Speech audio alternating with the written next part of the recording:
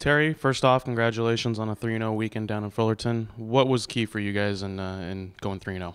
Well, first, thanks. Uh, going 3 0, we, we just took care of business uh, with each individual team. And, and the way we handicapped the tournament, we felt that San Diego State was the best team and Santa Clara second, Fullerton third. And then all of a sudden, Santa Clara beats San Diego State in the first match of the tourney. Uh, they were all pretty tough to begin with, but you know, we persevered because I felt we were the better serving passing team of all those teams. And then I, I felt that certainly some of our players really had outstanding performances one of those players, Arica Nassar, Offensive Player of the Week in the Pac 12. What can you say about what she's done for this team this season? Well, you know, she's really come to play almost every match that we've been in, and, and both on the hitting end and blocking end. And I'm liking the way she rises to the occasion when we play the really good teams. Uh, you know, the excitement you see in her eyes of uh, blocking the Penn State players or blocking some of the best players on the other side, and then conversely attacking. You know, she's expanded her zone of attack. Before she used to hit in front of the setter only. Now she hits in back of the setter, and that's really helped her range and helped spread out the block.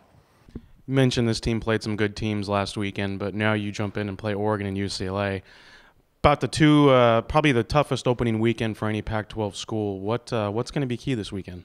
Well, you know, we'd love to get a split. There, you look at two road games. You'd love to split on the road and win at home. Uh, you know, realistically, I think each one of them poses different types of uh, um, just difficulties. One, the Ducks are very good at home. The Ducks are a great attacking team.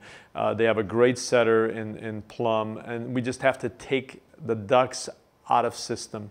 You've got to really serve the ball tough, and then you really need to block them and play defense against them so that you can't have them have the first ball side out. If they terminate on that first ball, it's going to be a, a very short night. You got to just go after them. Both matches are on the road, and you know uh, hostile environments. But you know, fortunately, this team has played Kansas State at Kansas State and uh, Penn State in a neutral site. How are those matches going to help you guys on this weekend? Well, both those matches were played in front of big crowds. Uh, they were loud gyms, and I think that that helps us. Uh, we know that in preparation for both Oregon and UCLA, we've played, hey, Penn State's as good as anybody in the Pac 12. So we just need to realize that, hey, you got to play one point at a time, forget the opponent on the other side of the net drop the curtain. The ball's on our side. We have to execute. And I, I really feel that this team is confident. This, this has been a great preseason for us. It's been a long travel. What is it, 14,000 miles?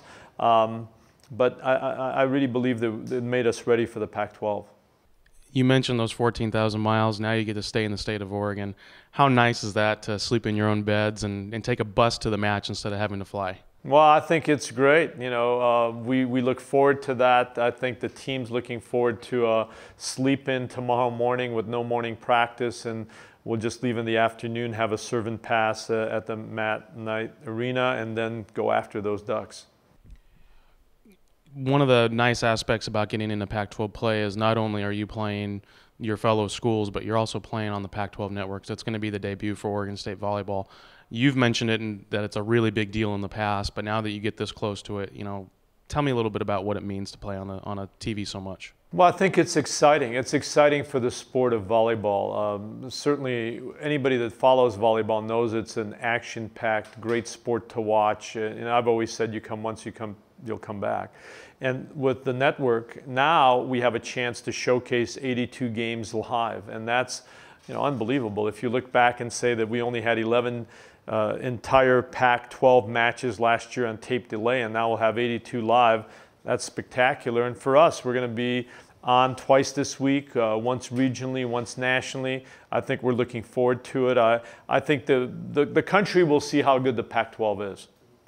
What do you tell these players about playing on TV? You know, they haven't been on so much uh, since they came to Oregon State, but now they you know, an explosion of TV contests. What do you tell them about playing on TV? Or do you tell them anything at all? Yeah, you know, we haven't talked much about it. I think they need to just get used to it. I, I know last year, because you're only on once, it becomes such a big thing that it, it's way over emphasize to them, and I think that they're just going to get used to it. There's going to be some differences with the 90-second timeouts, uh, with uh, automatic timeouts at 15 and 8 in the fifth set, and all those are things that you're going to really get used to. And I, I think it's uh, we'll just mention it. They'll know the cameras will be there, and we'll go from there.